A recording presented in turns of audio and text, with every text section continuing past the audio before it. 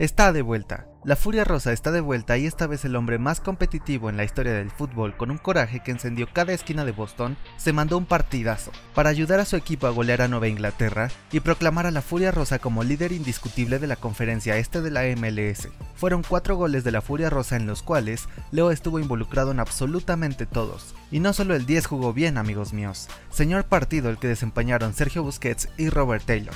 Sin duda, el que se hayan encontrado estos tres jugadores en la cancha nos hicieron recordar el nivel que mostró el equipo de David Beckham en la League's Cup en agosto del año pasado. Prepárense para ver al mejor equipo de Norteamérica funcionar como reloj suizo.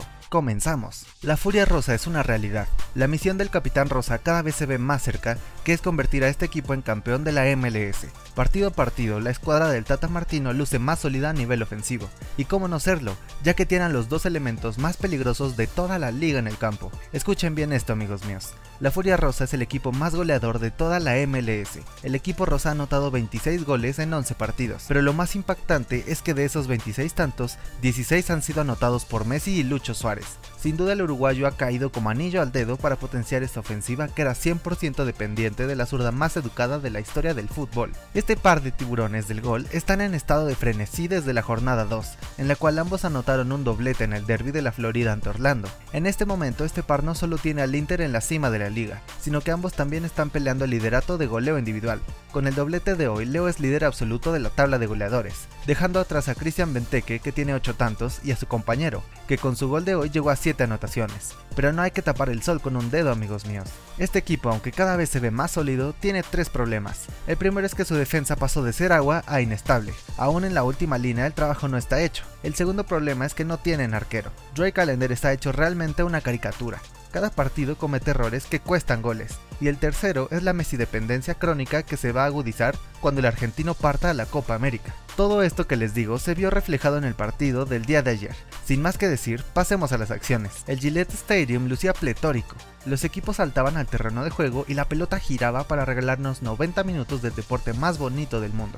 A la Furia Rosa le cuestan horrores los inicios de partido. No habían pasado ni 30 segundos y el Inter Miami volvió a cometer el mismo error de todos los juegos, perdiendo el balón en salida. Esta vez cortesía de Freire y por consecuencia el argentino desnudó a su defensa, y el rival aprovechó para picar el balón y se comprobaba algo que ya se veía juegos atrás. Calendar deja un mensaje muy claro. Este jugador se tiene que dedicar a otra cosa. Es un arquero que comete errores infantiles. Es impresionante cómo deja su portería sin protección, regalándole el gol a Nueva Inglaterra. Solo le faltó ponerle el moño a Chancalay.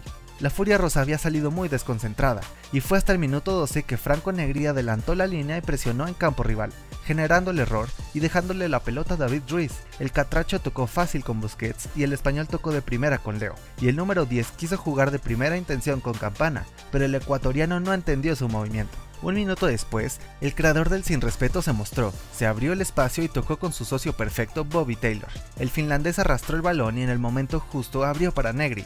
El argentino se entró y fue tapado, jugada que se había reclamado como penal, pero el árbitro no marcó absolutamente nada. La Furia Rosa nos regala pinceladas todos los partidos, y ahora presten atención a la masterclass de cómo se anticipa un balón por parte de Toto Avilés, una obra de arte defensiva del joven argentino. Siguiendo la misma jugada, Nico Freire no se quiso quedar atrás y dijo, ahí les va mi masterclass de cómo jugar al espacio dividido tras un despeje alto siendo el último hombre. El zaguero argentino leyó excelentemente bien la jugada. Un jugador que sin duda fue determinante en el partido fue Bobby Taylor. El finlandés le dio profundidad a Miami y siempre toca en el momento correcto para crear el espacio necesario para su equipo, y así generar peligro como en este remate de campana.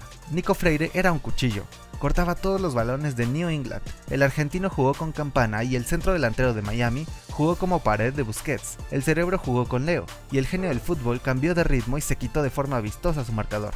De inmediato el 10 ya tenía tres rivales enfrente y buscó jugar con Campana, pero en el último momento despojaron al ecuatoriano de la pelota. Inter Miami ya se sentía más peligroso y se respiraba el empate por una razón. El juego rosa ya se centraba en Messi. Busquets intentó picar una pelota a la diagonal que Leo le había marcado, pero milagrosamente el defensa de New England cortó la jugada. Cuando el equipo rosa entra en sincronía con Messi todos suben su nivel, y eso estaba sucediendo en Boston. Y por favor observen la genial barrida que se mandó Busquets cuando New England intentaba contragolpear. Dios mío, fue una barrida quirúrgica. Leo Messi inició una nueva jugada con David Ruiz. El catracho tocó con Bobby. El secuaz de Messi jugó con Negri, el lateral regresó el balón al joven hondureño, que levantó la mirada y le metió toda la parte interna, y su tiro trazó una espectacular parábola que casi se clavaba en el ángulo. Sergio Busquets estaba impasable y nuevamente recuperaba otro balón en campo rival. De inmediato jugó con Leo, que sacó a bailar a los jugadores de New England y les pisó la bola de forma artística, Después tocó con Chelo, el ex Boca le regresó la pelota y con un enganche mortal se abrió el espacio para disparar, pero su tiro salió directamente al arquero. El estadio apestaba a gol de la Furia Rosa y una jugada después Bobby Taylor tocó de primera para Messi. Campana sabe Dios cómo le hizo, pero se interpuso con el balón y jugó de pared con Taylor. El finlandés esperó a que Leo trazara su diagonal y Bobby tocó el balón a la perfección para la zurda más educada de la historia del fútbol. Messi levantó la mirada y el trabajo ya estaba hecho. Con un tiro raso venció al arquero y Miami empataba los cartones. En la última jugada del primer tiempo, Robert Taylor mostró cómo su agilidad mental puede revolucionar el juego rosa, dándose una media vuelta como un rayo, arrastrando el balón lo necesario y tocando perfectamente bien a su compañero, mejor posicionado. En este caso Negri se fue toda la banda y como Alba buscó a Leo a la altura de la media luna, pero entre mil defensores, Messi no pudo ejecutar su disparo. Así, amigos míos, nos despedíamos de las acciones del primer tiempo, y a pesar de que los Rosas habían encajado un gol de manera tempranera y comenzaron un partido terrible, poco a poco se fueron encontrando en el encuentro y supieron presionar ofensivamente a Nueva Inglaterra para empatar el marcador. Pero mis amigos,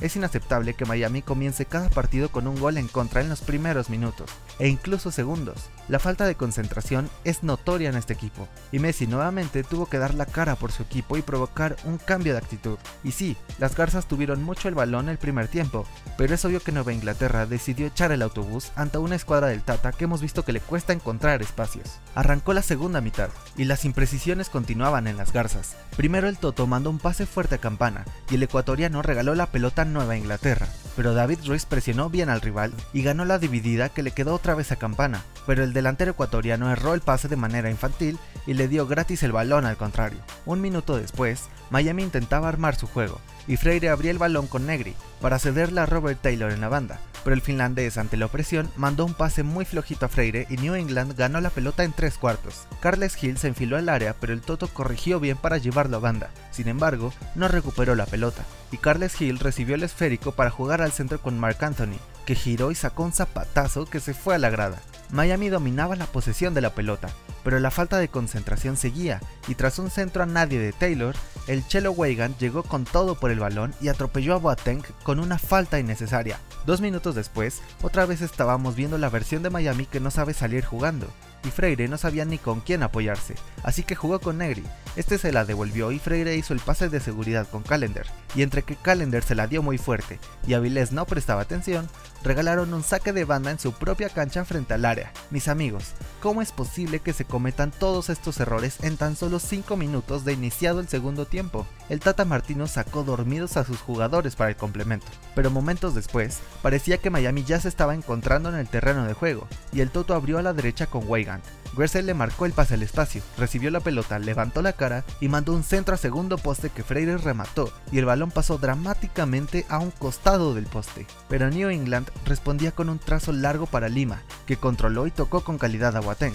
El ganés encaró a Weigand y se fue a velocidad a fondo para mandar un centro venenoso que nadie remató bien pero los rosas estaban aguantando la repentina embestida ofensiva del rival y estaban bien plantados en la cancha para no dejar espacios. Y de pronto, Gressel presionó muy bien buscando el error. Messi le desapareció el balón a Kai para dárselo a Busi, y el GOAT decidió que era hora de bajarle el ritmo al juego para pensar con más claridad el ataque. Gracias a la calma que Messi le dio al juego de las garzas, estaban tocando la pelota con menos presión pero con el objetivo de darle la vuelta al marcador de una vez por todas, y Messi se botó para recibir el esférico.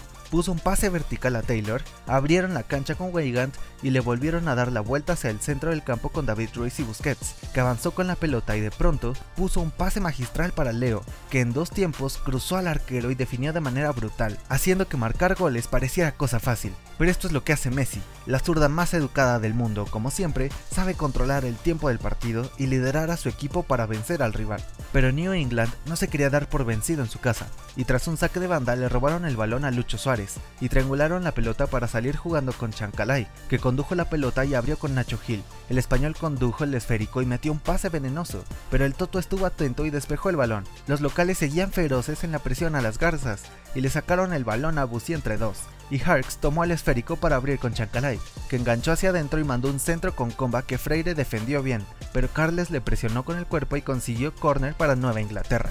Miami estaba aguantando muy bien en la defensa, y en el tiro de esquina, Carles Hill jugó en corto, se la devolvieron y mandó un centro a segundo poste. Calle recentró de cabeza en el área chica y de milagro le cayó el balón al Toto para despejar ese balón. Pero al 82, Busi recuperaba la pelota y se apoyaba con David Ruiz, y Acatracha estaba pensando la jugada con Cremachi, pero llegó Messi a darles nuevamente algo de claridad, y jugó más verticalmente con Matías Rojas. El paraguayo dio media vuelta y se apoyó con Busi, que le respetó el esfuerzo, pero a Rojas le quedó larga la pelota y se barrió para quedarse el esférico, y en dos movimientos asistió a Messi que remató pero le atajaron la pelota, y en el rebote, Benja Cremachi estaba en el lugar para mandar el balón a las redes y marcar su primer gol de la temporada, y qué lindo momento amigos, pues ya se extrañaba a este chico gritar un gol con las garzas junto a Leo. Otra vez New England estaba echado al ataque y Carles Hill se botaba para organizar la ofensiva.